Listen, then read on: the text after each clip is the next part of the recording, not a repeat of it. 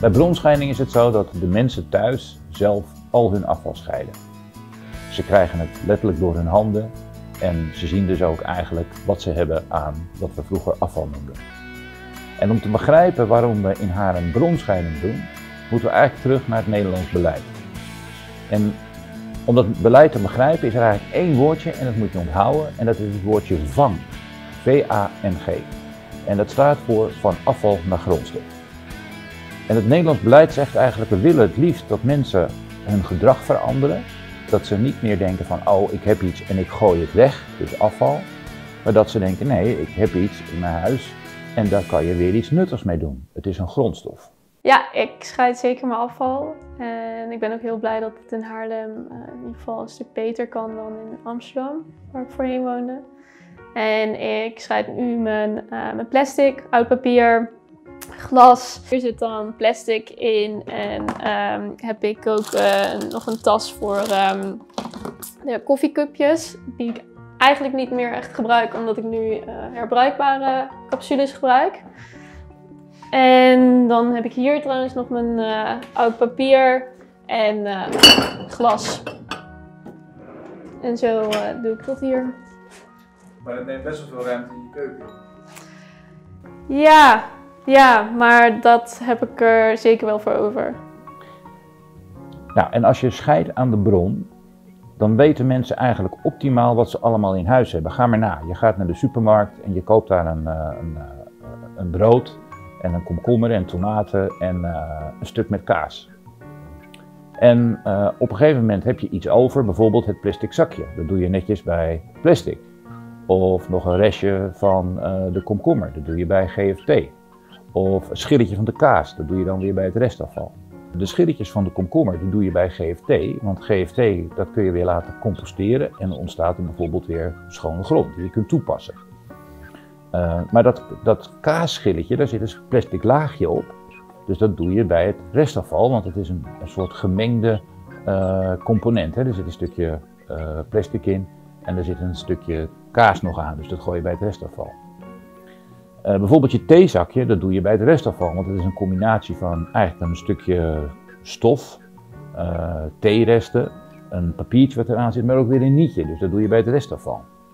Ik koop wel eens een zakje brood bij de supermarkt met wat brood erin en dan blijven er resten zitten in het zakje. Is het dan niet meer bruikbaar? Ja, wat je natuurlijk het beste kunt doen, is als je dus brood koopt in een zak en er zitten nog wat kruimels in, dat je die kruimels even leegt in je GFT-bak. En dat je dan het plastic netjes doet bij je PPD.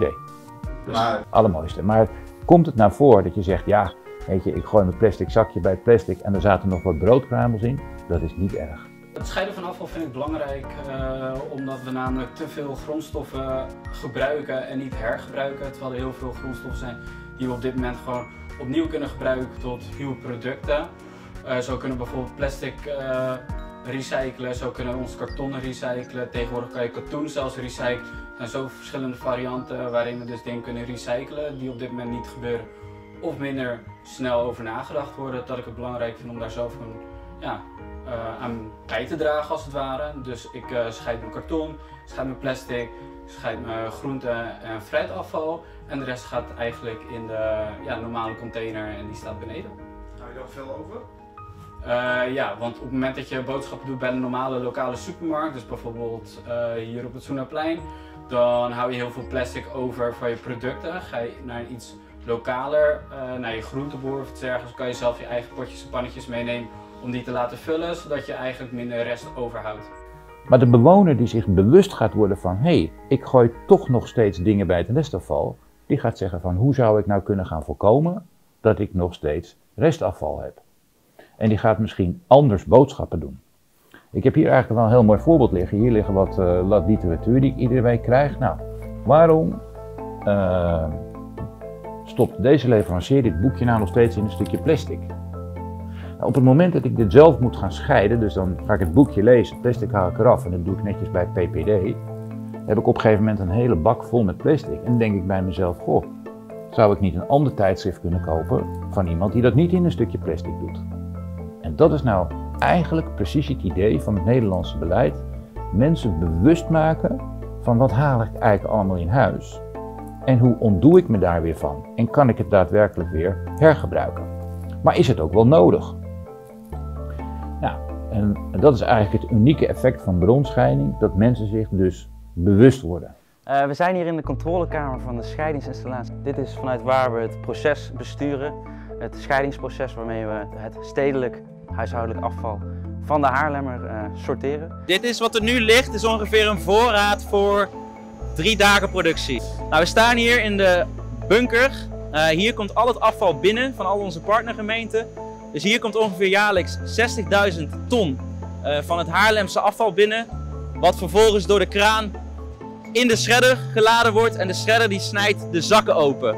En daarna gaat het die kant op het proces in. Al het materiaal komt binnen bij Safe 1. En Safe 1 heeft de functie om het organische materiaal eruit te zeven. Dus het safe deck heeft kleine gaten. Het organische materiaal schudt daar doorheen, wordt afgevoerd naar het residu. En het materiaal wat overblijft, dat zijn de grondstoffen die je terug kunnen winnen, die gaan naar Safe 2. En Safe 2 die sorteert vervolgens op, uh, op formaat. Dus alle kleinere delen gaan naar ballistische scheider 1 en alle grotere delen gaan naar ballistische scheider 2. En dan begint het scheidingsproces.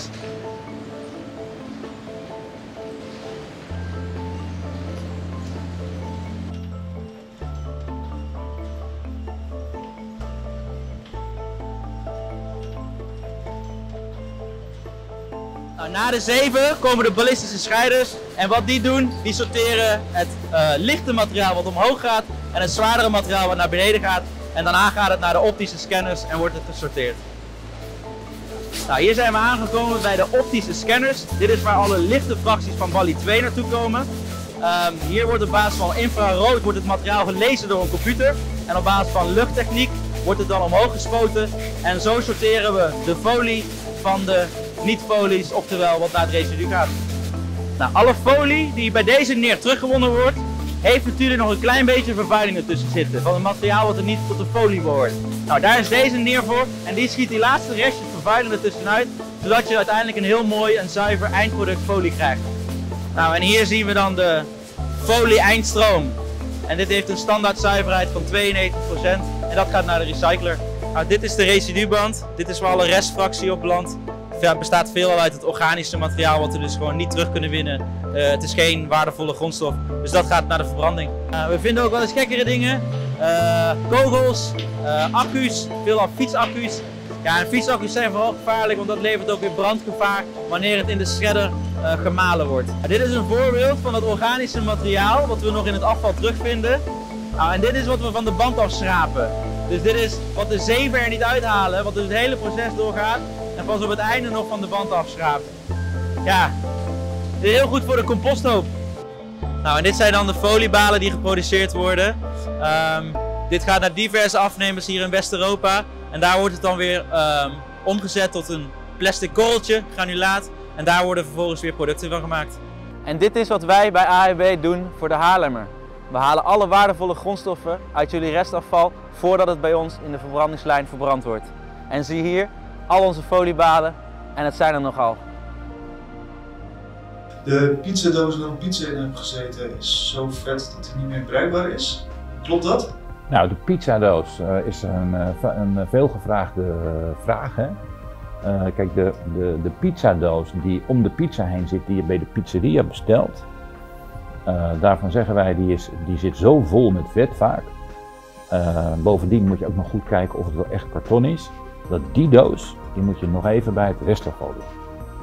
De doos die om je pizza heen zit, die je in de supermarkt koopt uit de diepvries, dat is vaak keurig netjes karton, dus die kun je netjes verscheuren en bij uh, papier doen. Hè? Uh, ik ga het papier even pakken en dan uh, kunnen we naar beneden lopen en dan kunnen we richting de container toe. Hier een afvalbak voor karton en voor plastic. Het enige nadeel is dat de bak van beneden is en vaak zit hij gewoon vol. Dus we moeten even een stukje doorlopen om het alsnog uh, op de juiste manier weg te kunnen gooien. En jullie gooien piepschuim bij plastic? Uh, nee, dat is uh, niet van ons. Dat is van de benedenburen. Maar die hebben dat daar blijkbaar heen gegooid. Want waar moet dat wel bij dan? Dat zou ik niet weten. Weet jij het? Kijk, er zijn maar weinig mensen die dat weten. Maar hier hebben we dus een bak en die zit vol met piepschuim. En piepschuim is wel een rottig goedje zitten wat stofjes in die uh, niet zo goed zijn. Het is net piepschuim. Belangrijk om, dat er maar meneer. Het is belangrijk dat om het weg te gooien. Nou ja, en eh, ja, het gebeurt waar we bij staan. Deze meneer weet ook deze bak te vinden. Eh, piepschuim, rottegoedje. Heb je veel piepschuim, kom naar het Milieuplein, doe het in deze bak. En dan wordt het weer netjes eh, verwerkt. Ik dacht dat het bij dat karton moest. Ja, nou, en dat is dus niet het geval. Dus ik doe nog maar eens eventjes zo. Het moet echt hierin en niet bij. Ik ben al een paar keer bij de Milieustraat geweest, ook gewoon voor mijn huistuin en keukenapparatuur die ik niet bij het restafval kan gooien. Maar als ik zie hoe dat daar gescheiden wordt en hoe dat ook weggewerkt wordt, ja, ben ik het wel eh, mee eens dat Spaarnelanden een eh, goede job doet met het eh, recyclen van hun restafval. Dan hebben we hier aan de overkant hebben we de papierbak.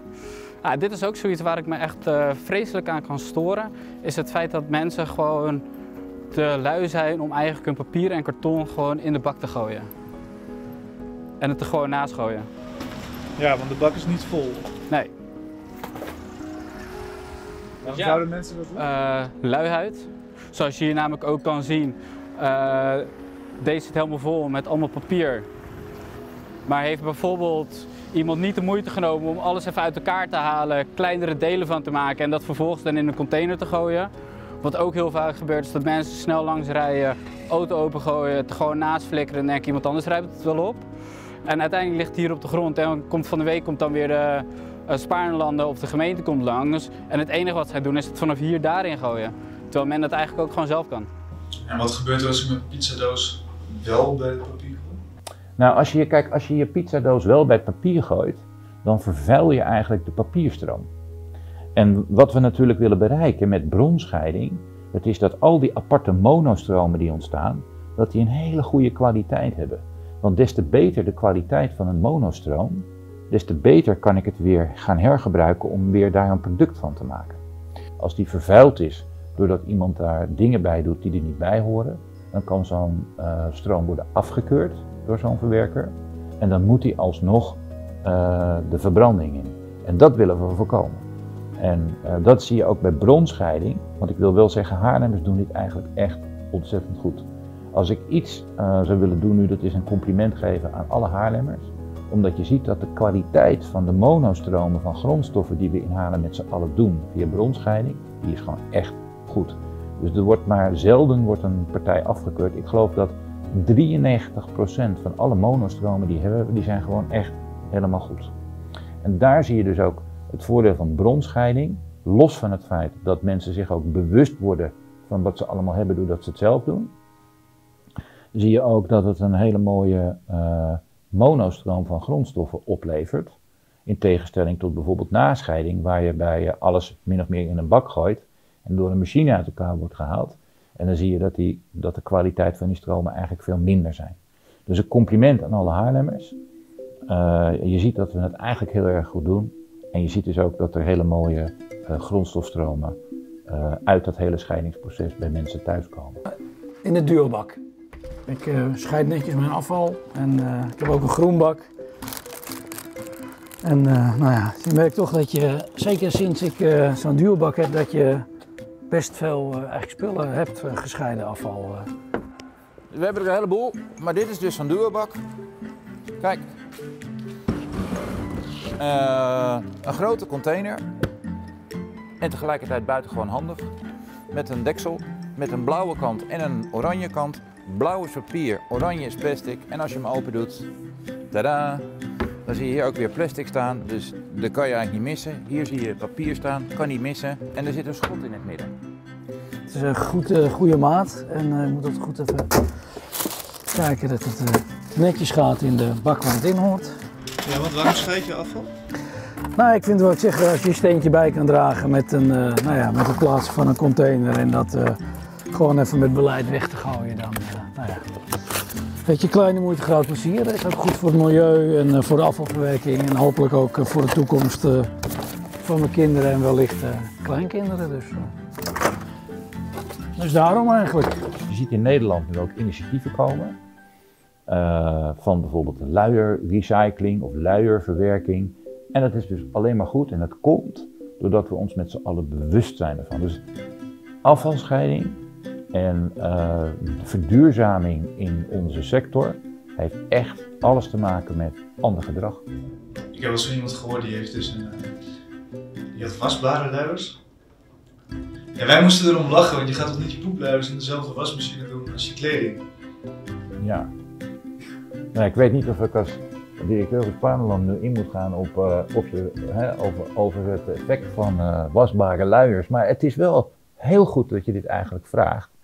Want hier gaat het om. Dus het, het, het gaat er eigenlijk om dat je je zo bewust wordt en dat het onderwerp zo bespreekbaar wordt, dat je gaat nadenken van wat zou dan de beste oplossing kunnen zijn. Dus het is ook niet gek als je het hebt over zou je niet wasbare luiers moeten hebben. Hè?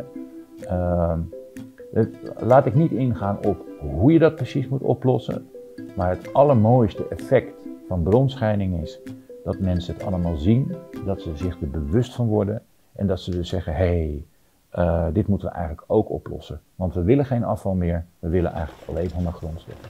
En merk je dat je minder restafval hebt? Uh, ja, dat, ja, dat merk ik zeker. Want wat ik zeg, deze, ik ben al wel iedere, wat is het, twee weken, het is een grote doos.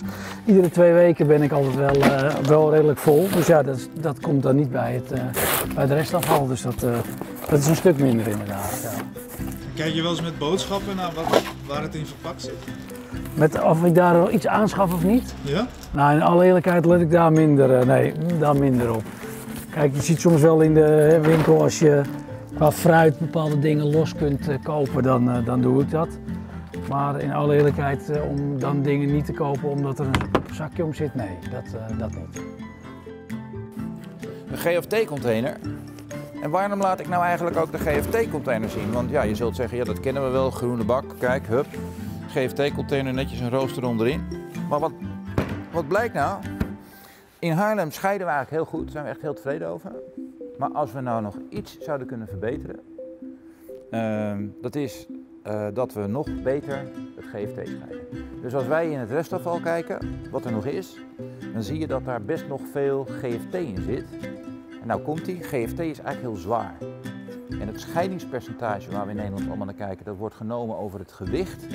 Dus als wij nog veel beter ons GFT kunnen scheiden, dan maken we nog meer winst in het scheidingspercentage in de stad. Ik ben sowieso meer van het reduceren van mijn afval en uh, dan dat, het, uh, dat ik het wil recyclen. En, en daarnaast is GFT is inderdaad wel een, een gedeelte. En dat zit dan bij mijn restafval, omdat ik eigenlijk geen GFT hier weg kan doen in het centrum. Dan zou ik echt buiten het centrum moet gaan, uh, moeten gaan. En ik ben al heel blij dat als ik hier ben, dat, me, dat de zak niet kapot is. En ik dan niet helemaal naar, het, uh, naar de buitenkant van het centrum moet. Ik heb begrepen dat jullie ook nog gaan kijken bij een scheidingsproef. Dat moet je absoluut doen, dat is heel leuk.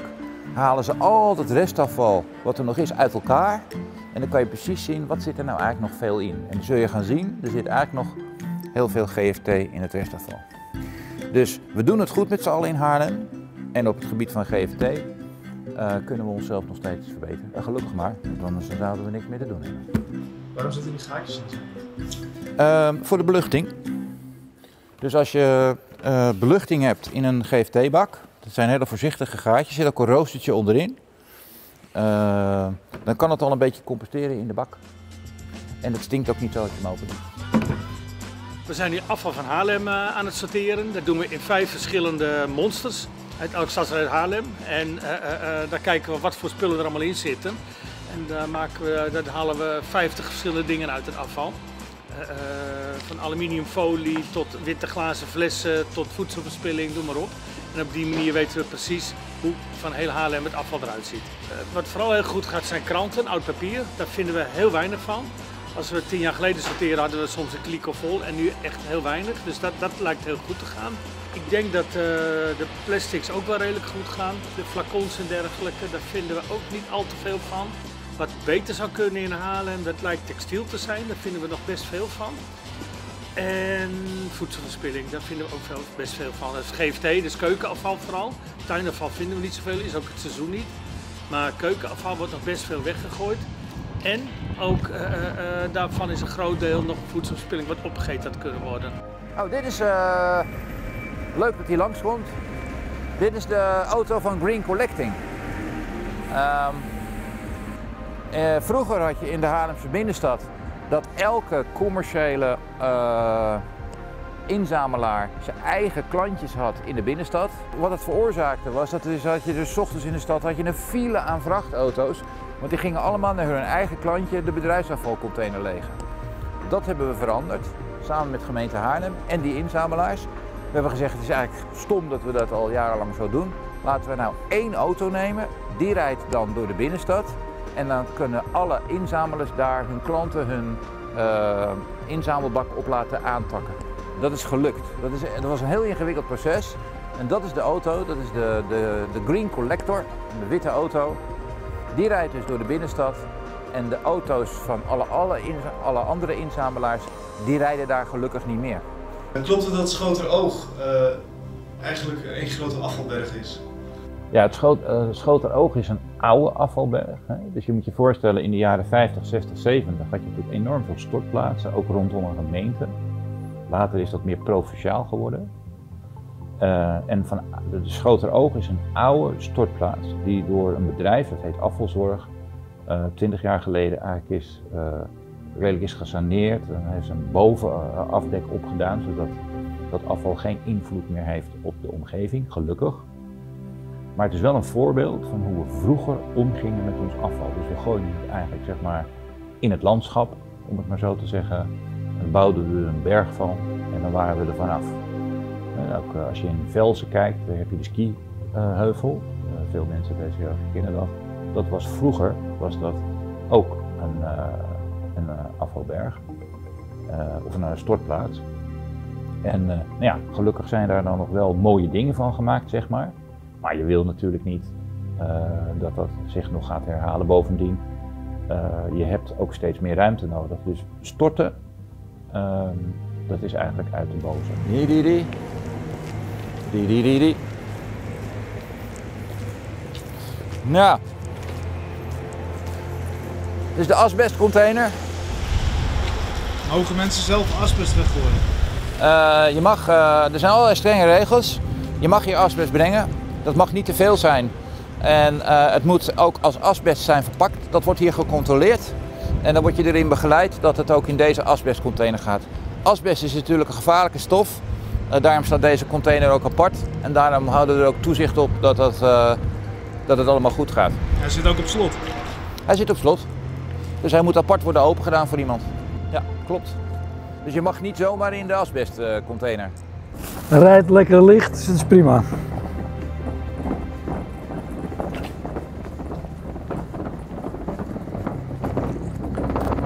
Geloof je dat het gescheiden in de vrachtwagen blijft? Eh, ja, die illusie eh, die heb ik wel. Ja. Je hoort dat, is natuurlijk wel, dat vind ik wel een, misschien een ding ook voor de, voor de Spanelanden of hè, voor de communicatie. Dat, dat je wel eens merkt dat er eh, ehm, ja, daar verschillende verhalen eronder doen. Over eh, eh, ja, het komt toch allemaal op één grote hoop. En ik denk als ze daar misschien nog eh, iets thematisch of zo kunnen doen, dat toch wel meer mensen die nu nog wat sceptisch hebben of het niet doen. Want het is natuurlijk een beetje weggooien moet je het toch. Dus het is, het is kleine moeite om het te scheiden. Maar dat sommige mensen dus echt denken, ja, het komt op de grote hoop. Ik denk dat daar nog wel winst eh, te halen valt. Uh, een monostroom van grondstoffen bijvoorbeeld, uh, dat gaat altijd in één auto. Dus een, bijvoorbeeld, je ziet daar een auto staan en als die een, uh, een monostroom leegt, dan komt dat ook alleen maar in die auto. Dus als je bijvoorbeeld GFT-bakken leegt in de stad, dan gaat het in een wagen waar GFT in gaat en niks anders. Bij de dualbakken hebben we een wagen met een schot in het midden. Dus alle mensen die de dualbak kennen, hè, dan heb je aan de ene kant uh, heb je dus PPD en aan de andere kant heb je papier. En in het midden zit een schot. En die kan zodanig worden geleegd dat die in die auto zit ook een schot. Dus dan komt straks een auto terug en dan zit er aan de ene kant in die auto zit de PPD en aan de andere kant. Dat is natuurlijk heel belangrijk. Hè, dat wij er ook voor zorgen dat als al die mensen keurig netjes hun grondstoffen scheiden, en dat doen ze goed, dat wij het ook heel goed apart houden en apart wegbrengen. Dus daarom zijn we zo uh, voorzichtig met al die monostromen. Dus er kan maar één stroom in een auto, behalve bij de duwbak. Want onze auto heeft ook een, uh, ook een schot. En restafval, dat wordt dan weer in een, uh, in een andere wagen wordt dat opgehaald.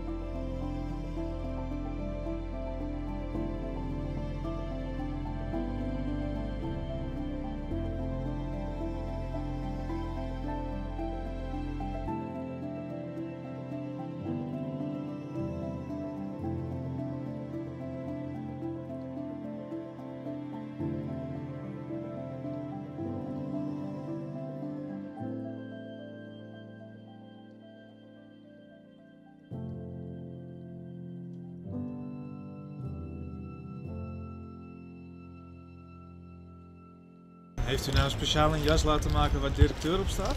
Ja. Ja, heb ik laten maken. Wil je ook weten waarom? Ja. Ja. Ja, het is natuurlijk niet zomaar een vraag. Nee, dat klopt. Nou, dit is, eh, iedereen weet wel dat ik de directeur ben, dus daar doe ik het niet om. Maar het kan wel zo zijn dat er een calamiteit is. Dus dat we bijvoorbeeld snel moeten handelen en naar buiten moeten of iets van die aard. En dan is het wel handig dat ik gewoon kan, dat, het- dat ik niet aan iedereen, iedereen hoeft te vertellen van ik ben hier de directeur. Daar staat de directeur op. Ehm, nou, dit is het Milieuplein. Dit is een ongelooflijk belangrijk plein, eh, plein in Haarlem. Eh, je kunt eigenlijk al je grof afval wat je hebt en wat je hier zelf kunt brengen, kun je hier brengen. En je ziet ook al aan alle bosjes dat je het kunt scheiden in allerlei fracties. Alles wat hier komt, wordt apart verwerkt. Dus alles wat hier komt, wordt weer op een duurzame manier eh, verwerkt tot op de een of andere manier nieuwe grondstoffen. Dus als je hier bouw- en sloopafval brengt, dan wordt er vaak granulaat van gemaakt wat weer kan worden toegepast. Als je hier stenig materiaal brengt, dan wordt het weer naar een andere verwerker gebracht en krijgt het ook weer een tweede leven als stenig materiaal. Eh, we houden de verschillende soorten hout uit elkaar. Er is een aparte eh, plek waar je je elektronica kunt wegbrengen. Dat gaat weer naar een gespecialiseerd bedrijf die het dan uit elkaar haalt en alle onderdelen weer een eh, tweede leven geeft. Of eh, zodanig laat verwerken dat er weer nieuwe producten van kunnen worden gemaakt. Kijk, dit is een sportshirt. Gemaakt van 6 à 7 petflessen. En dit is 100% gerecycled plastic. En er zit alleen plastic in. Alleen plastic. Zelfs de labels die hier gebruikt worden. ehm, even kijken. Die heeft deze niet. Maar alles is 100% plastic. Dan kan je gewoon in sporten. Ja. Er zit lucht in. Omdat als je het namelijk zo uit elkaar trekt, zie je dat het op een bepaalde manier geweven is. En dat zorgt ervoor dat het gewoon ademt. Dus hetzelfde proces wat je eigenlijk hebt bij een eh polymere voetbalshirt. Alleen is dit dan van gerecycled plastic gemaakt. En net zo stevig en de kwaliteit net zo goed.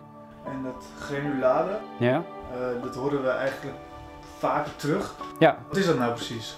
Granulade is eigenlijk niks meer dan plastic balletjes. En dit is je basis waar uiteindelijk eh, nieuwe plastic producten van gemaakt worden. Ja, het voelt gewoon eh, als een normaal, normaal shirt. Ja. Eh, het mooie aan dit shirt is, dat, kijk, je hebt 6 à 7 flessen nodig, petflessen nodig, pet, om dit shirt te kunnen produceren. En op vandaag de dag is er zoveel pet aanwezig in de wereld, dat we eigenlijk iedereen die in armoede zou leven, gewoon zouden kunnen voorzien van kleding en er niemand meer naakt bij hoeft te lopen. Alleen het rare eraan is, is dat het wordt niet gedaan. Terwijl de grondstoffen die ervoor nodig zijn, is al een en beschikbaar. En als je gaat kijken naar wat eh, dwangarbeid, kinderarbeid, eh, slechte omstandigheden doen voor het milieu, de carbon footprint en de CO2-uitstoot, dat vergelijkt met bijvoorbeeld t-shirts die gemaakt worden van een gerecycled product, ligt dat vele malen lager. Waarom? Het materiaal is al aanwezig, dus je hoeft het niet opnieuw te creëren. Dus al die giftige stoffen die in het beginproces gebruikt zijn, heb je niet meer nodig om uiteindelijk je eindproduct te maken. Waardoor je carbon footprint en je CO2-uitstoot vele malen lager ligt dan wanneer je het op nieuwe wijze gaat produceren. Dus het, het is in geldwaarde een dure shirt. Alleen in uitstootwaarde is het een stuk goedkoper. Een stuk goedkoper inderdaad en beter voor het milieu. nou, ijzer wordt apart gehouden, aluminium wordt apart gehouden.